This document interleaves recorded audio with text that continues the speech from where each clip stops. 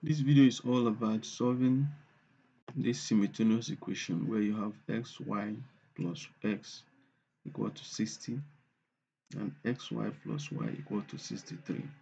Now, this is a simultaneous equation. So, before we start, let me use this medium to appreciate my subscribers, both old and new, and also appreciate my my viewers.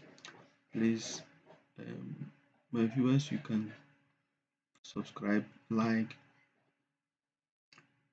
you can subscribe, like, comment, and share this video, please. So let's begin. Now you have okay, let me change this to white. Like making use of white. X, Y plus X is equal to 60. That is equation 1. Now you have X, Y plus y equal to 63 that is equation 2 now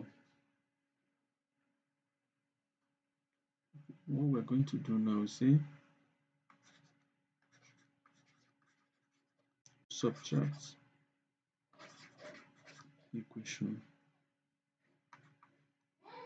1 subtract equation 2 from equation 1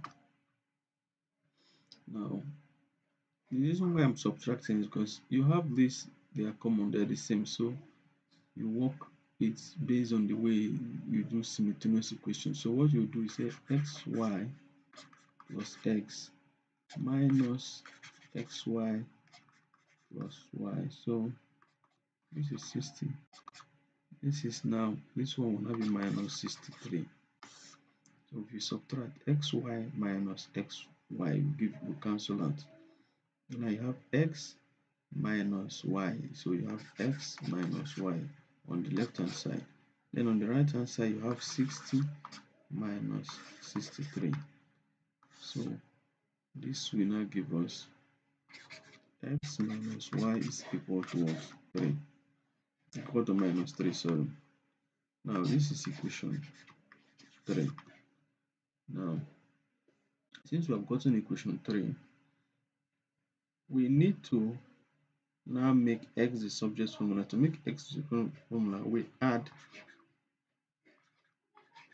we add add plus y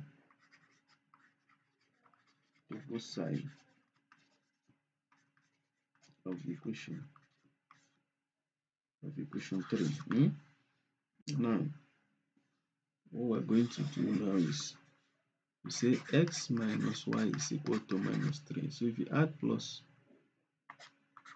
y to both sides of the equation so now you now have here x. So minus y plus y will give you 0 so now you have plus y which is let me just say y minus 3 minus 3 there is an imaginary plus here. So we now have what we call equation 4 which is x equal to y minus 3 so now now substituting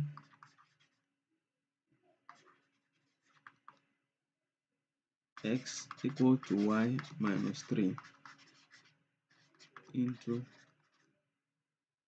equation 2 we now have y minus 3 times y. Okay let me just write the equation. You have xy plus y equal to 63 which is equation 2 now if you, if you wherever you see x you substitute y minus 3 which is this?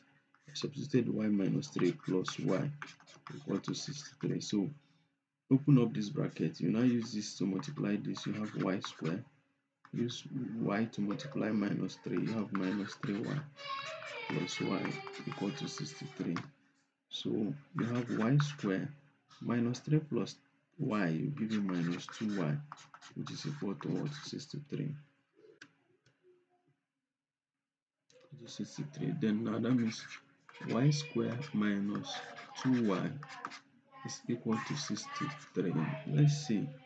Let's go back again okay now what we go, go what we're going to do we add we say adding minus 63 what to both sides. So now if we add minus 63 to both sides you have y square minus 2y equal to 63 you now add minus 63 to both sides now if you add minus 63 to this side to the left hand side you have y square minus 2y minus 63 equal to 63 minus 63 minus 63 will give you 0 so we now have we have we now have quadratic equation. To solve this we can now use by factorization now. We can now say here y this is y this is y that is the factors of y square is y and y. So now when I look at the factors of 63 minus 63 that will, when you add them it will give you minus um, give you minus 20 minus 2y now if you say 20 um, 60 63 3 times 21 that will not if you add them it will not give you that. Now 9 times 7 if you add it it will not give you but minus 9 times plus 7 will give you. If you add minus 9 minus 9 if you add minus 9 plus 7 it will give you minus 2 so you have you have minus 9 and plus 7 equal to 0 so that is how to factor it now. So having done this we now know that since the product of this expression and this expression is equal to 0 that means either this or this value is equal to 0 either y minus 9 is equal to 0 or y plus 7 is equal to 0 so if you move minus 9 to this other side you have y equal to 9 or if you move plus 7 to this other side you have y equal to minus 7 now now for y equal to 9 you have x equal to y minus 3 from equation from equation 4 let me just write it from equation 4 you have x equal to y minus 9 so if you add if you put 9 here now minus 3 so 9 minus 3 will give you 6 so that means you have you have um, x equal to 6 now for this for y equal to minus 7 so from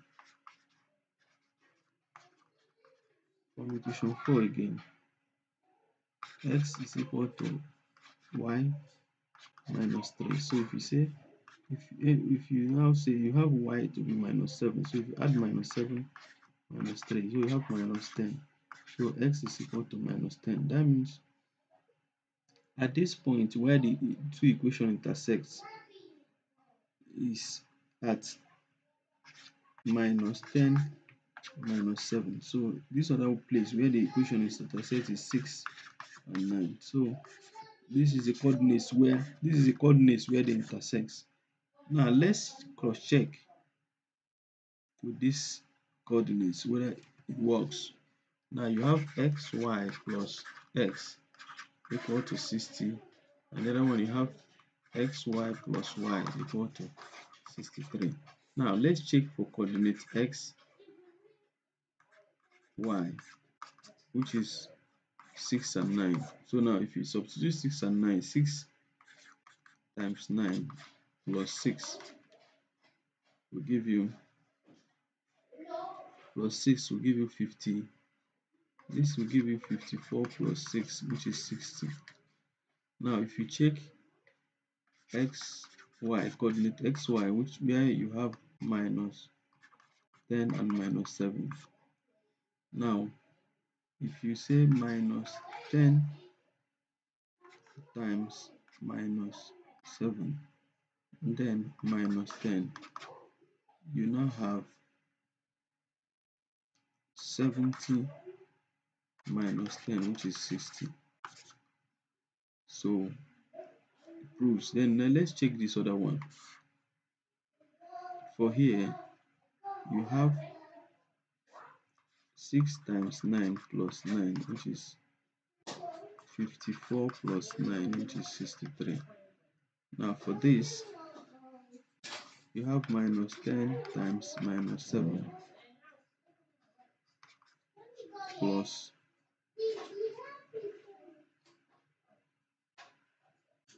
plus minus 7 this will give you 70 minus 7 which is 63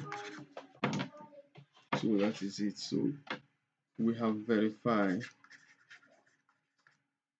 we have verified the solution. So now thank you for watching till the end. Have a nice day. Thank you